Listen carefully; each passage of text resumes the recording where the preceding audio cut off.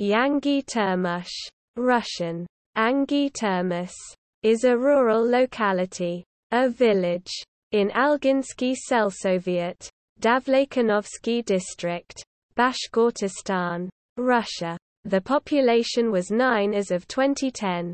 There is First Street,